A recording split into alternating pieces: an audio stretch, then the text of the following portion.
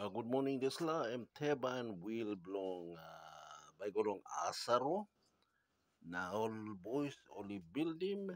You can look him. He got this la bicycle, bicycle rim.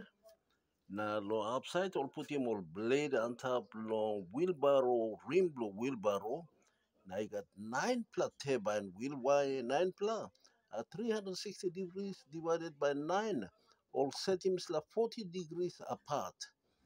So the secret here is you may need lo kisim volume lo wara lo spin him this la na kisim at least uh, at least some la RPM. We do you mean so lo RPM to slay it. You may spin him no bla ba kisim. So I think I'm looking at getting a 600 RPM.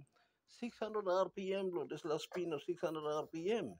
Uh, lo use him car alternator. You know not lo kisim good la voltage. So you need lo put him slag go along um, little pulley na driving alternator which will be running at around uh, 1500 rpm to get 12 volts. So em this la teban uh, you got not la teban wheel or line you walking uh lo bicycle rim.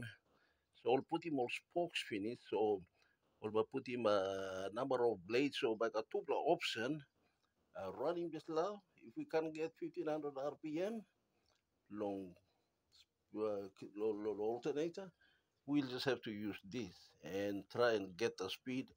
Now, kiss him right selection blow pulley we may get 1500 rpm so we can get some voltage.